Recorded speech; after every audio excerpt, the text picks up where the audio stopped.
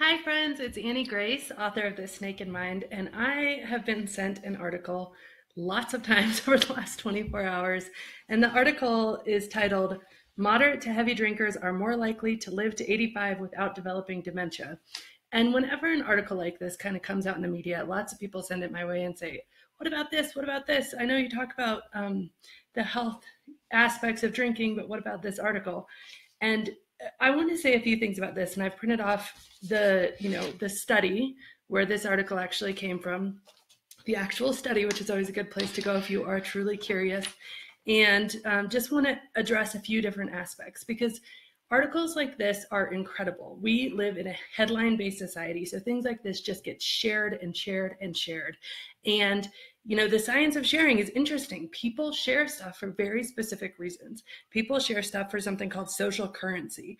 Um, they share things that they think will make them look good or smart or that will confirm behaviors that they have that possibly they don't feel great about as a way of like cognitive, you know, bias, like really getting into feeling better about things that they might not feel great about. And everybody you know likes to share things like this. So this article has been picked up by all sorts of publications shared over and over and over um, which i find really interesting. And interestingly about things like this there are thousands and thousands and thousands of studies about alcohol's harm on our health.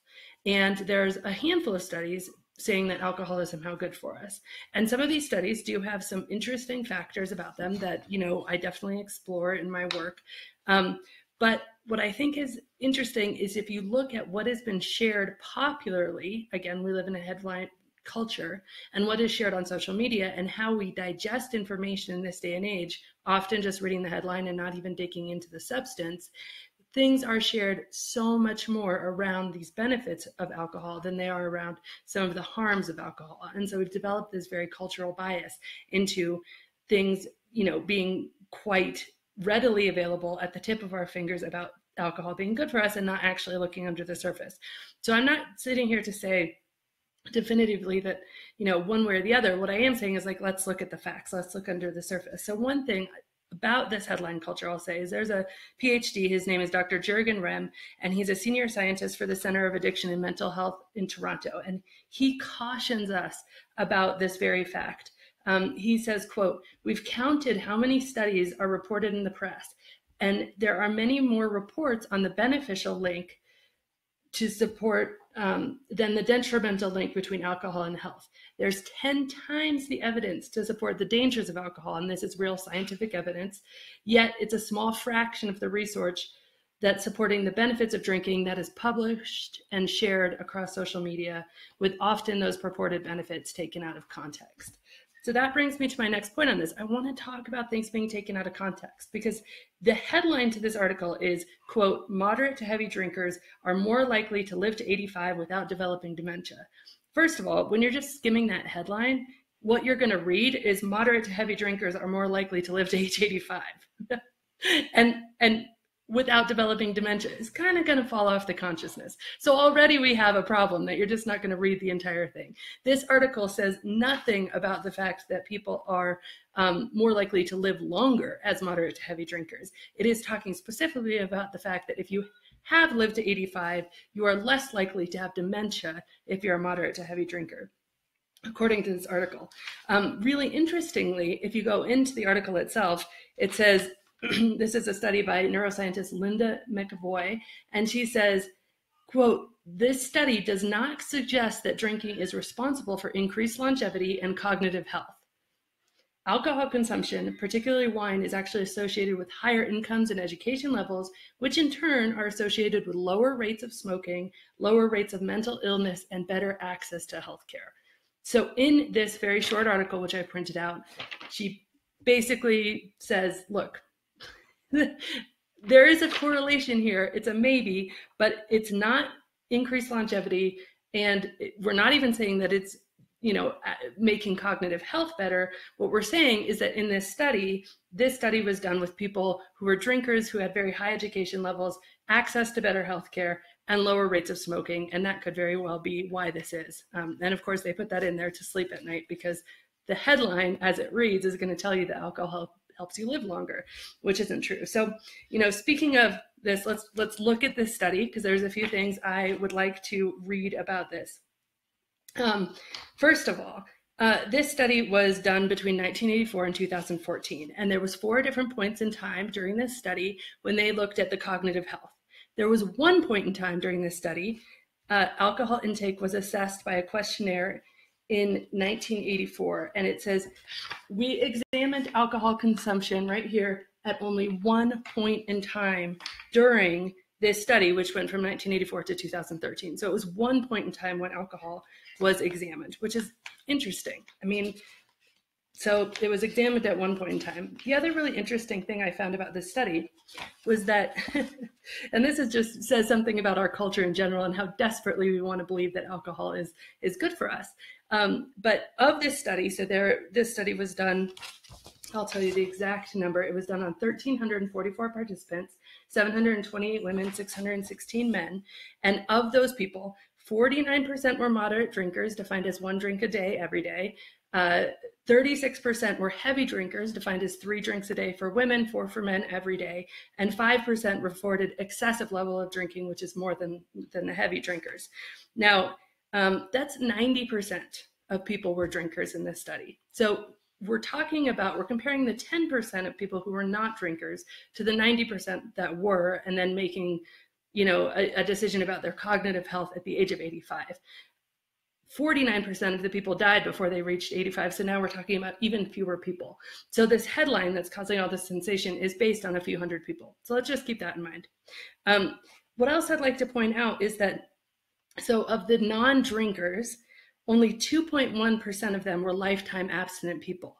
What they what they talk about in the study is that actually the non drinkers, a lot of these people had stopped drinking for health reasons, which is why they were non drinkers. And so it says, quote, non drinkers were more likely to report being in poorer health than the drinkers to begin with. So I think that's really interesting.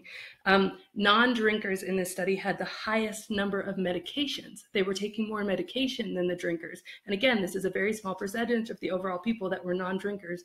Why weren't they drinking in today's society? It's it's not typical not to be a drinker unless you have health issues or unless you had you know excessive alcoholism and you had to stop drinking um, interestingly also the non-drinkers with these health issues who were on more medication exercise significantly less and that's on on this page here they exercise significantly less than the drinkers. So again could that have something to do with the fact that at age 85 they were cognitively in better health this 90% than the 10% definitely. Like there's a lot of things in here that you know the study is taken yes there's there's a connection but it's definitely taken out of context. Now um so another instant compared to the lifetime abstainers or the 2% of people who never drink the former drinkers which is the 10% that we're talking about uh, were significantly more likely to be smokers, past or current smokers. So that's another reason that this study could be very relevant to if you're a smoker, there could definitely be, as with drinking, um, cognitive issues.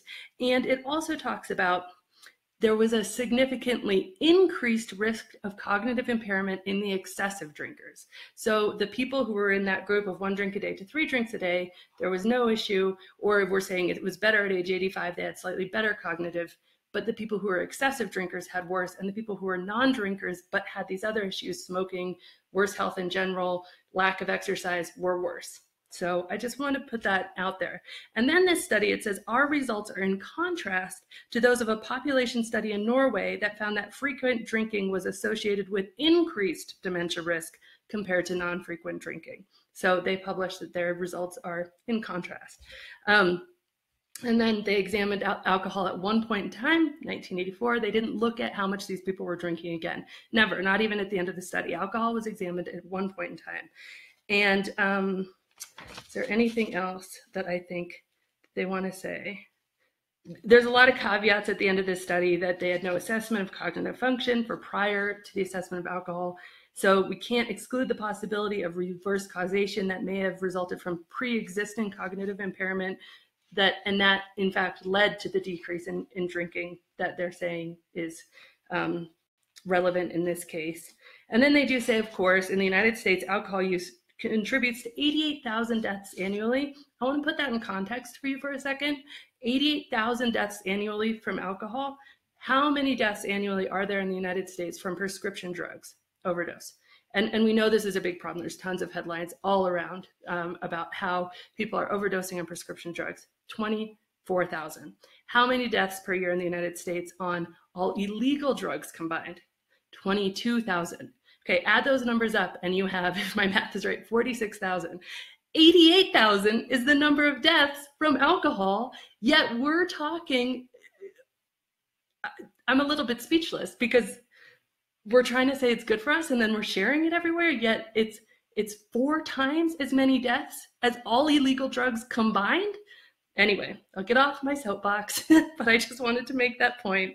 Um, so they say alcohol use contributes to 88,000 deaths annually and has a substantial number of additional adverse health, economic, and social consequences. For this reason, it's not appropriate to recommend anyone initiate drinking. As a conclusion to this study, which is the real study, which I just suggest you read. Anyway, the point is, we live in a headline society. Things like this are going to come out all the time. Things like this are going to be hugely widely shared, but just look below the surface a little bit and you will see that things like this aren't generally what they seem. So, anyway, this is Annie Grace. Have a great day. Thank you so much.